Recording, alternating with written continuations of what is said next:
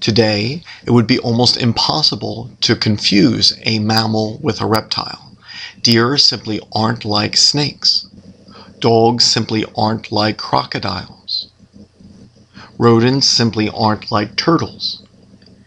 However, in the mid Triassic period, it is almost impossible to distinguish between the advanced cynodonts and the early mammals they were virtually indistinguishable. And in order to distinguish between them, you would have to look at their teeth, at a groove in the lower jaw, and very tiny features. These animals had developed a level of similarity uh, to the point where even the experts uh, can argue as to where uh, we should draw the line between reptile and mammal.